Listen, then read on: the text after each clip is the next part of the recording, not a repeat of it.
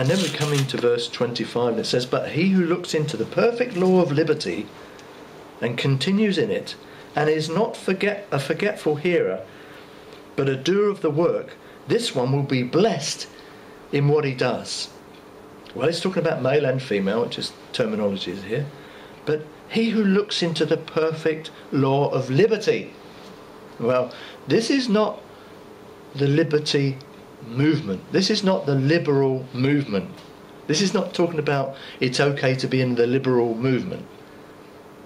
You know, some people have taken this the wrong way, I believe, and their idea of liberal goes way and beyond what the Apostle Paul is talking about here.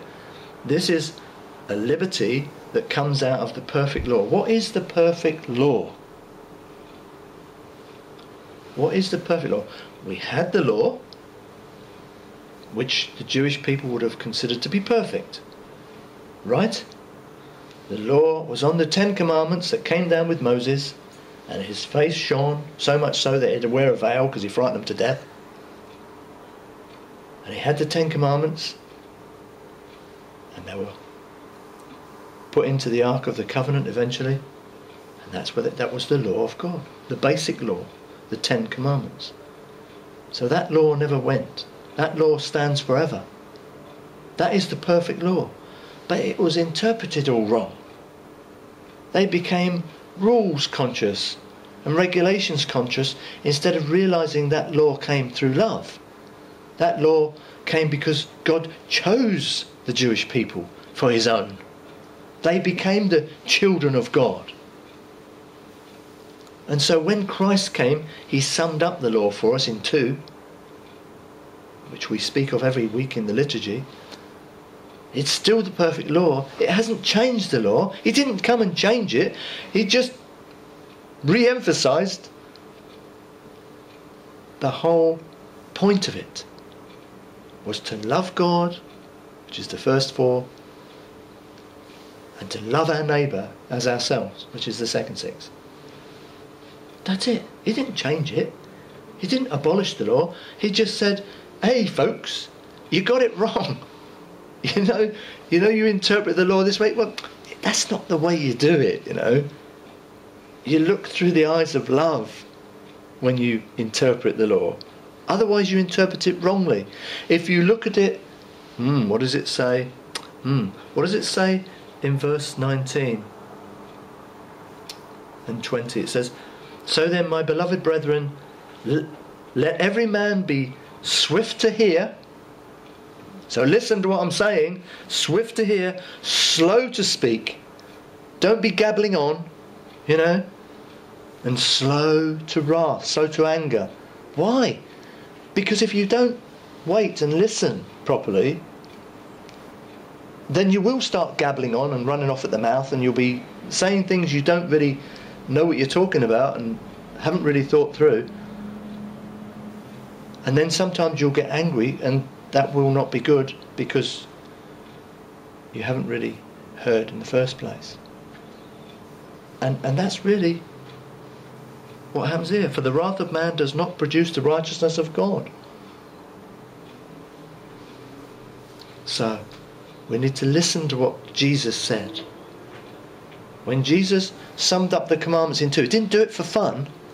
He didn't do it just because it was something to do that day. You know, he didn't have much to do, so he thought, oh, I'll just, I'll just mess around with the commandments today. No, didn't do that, did he? He, he was very serious in, in teaching us that we've got all these hundreds of laws built around the Ten Commandments. And it's true, each one of those commandments, for example, murder, it doesn't just cover the act of murdering someone physically, it covers many things in murder slander, assassinating someone, speaking evil about someone. These You're murdering them in your mind, and you might just as well effectively have gone and done it with a knife, you know. So making lots of laws was their way of trying to work that out. And it became a very, oh, it's a heavy yoke, you know. I, I can't turn without I've broken a law here, you know. I can't live that kind of totally contained life. It doesn't work for me. So anyway, let's move on. It talks about the perfect law of liberty and continues in it and is not forget a forgetful hearer but does but is a doer of the work this one will be blessed in what he does if we're interpreting the law in that liberty that Christ brought us through interpreting them by love then we will be able to do it and we will be blessed if we try to do it under the old system of the law under the mosaic law and the way they exaggerated that laws in so many ways we will not be blessed our lives will be a misery. And we will become very critical and very, very judgmental. Because that's what it that's what it begets. So if anyone among you thinks he's religious and does not bridle his tongue, he deceives his own heart. This one's religion is useless. So running off at the mouth is not the way to go, folks. That's what he's saying here. Pure and undefiled religion before God and the Father is this. So, spouting that you're a Christian and spouting that you're doing all these wonderful things for God and that you are a wonderful person or you're indignant, judgmental, and critical because you are a law keeper does not make you attractive as far as God's concerned, let alone people. Okay? Pure and undefiled religion before God and the Father is this listen Here's your faith being expressed. You're justified through the faith of trusting in Christ, but here's how it comes out pure and undefiled religion. God the Father is this to visit orphans and widows in their trouble, and to keep oneself unspotted from the world. So, arise, bride, is what we're hearing again. Arise and come away don't be stained by the world. Come out. You are in the world. You're not of the world. Come out. Come out.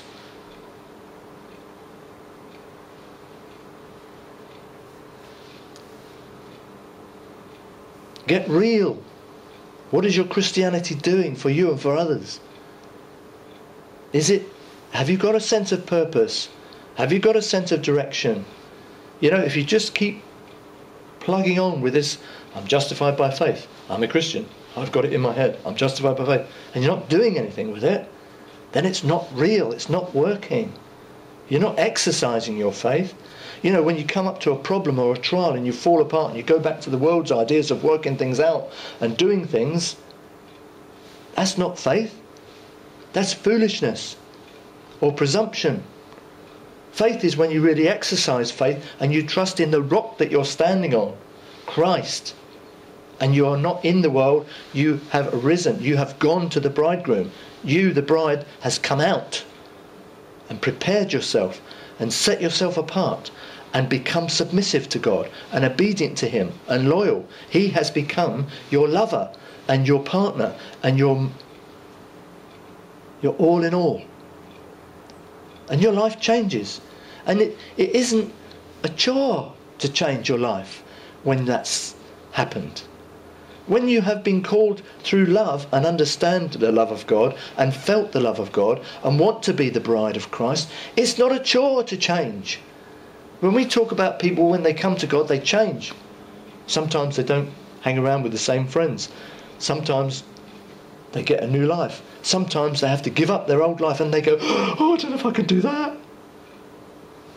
What are you getting in return?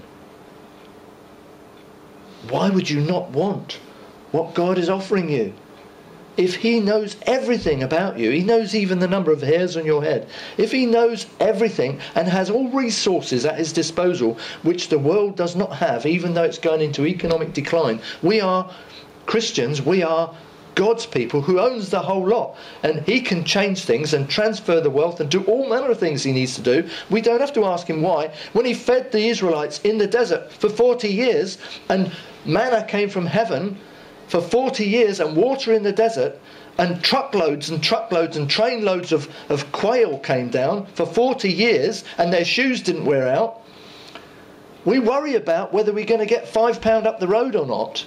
It, eh, you know, let's get real. If we really believe in those miracles, if we really believe that that happened, which the scripture talks of, if we can trust God for, for minor things, we ought to be able to trust God for the major things. If we understand the miracles that have happened, why don't we understand the miracle of the Eucharist? Why can't we trust God with our finances? Why can't we trust God with everything and give Him our lives and submit ourselves and be the bride that He wants for the bridegroom? Why can't we do that? Because we haven't been changed on the inside. We haven't responded to the call. We need to have a purpose in life that follows God. Amen? Amen. Praise God.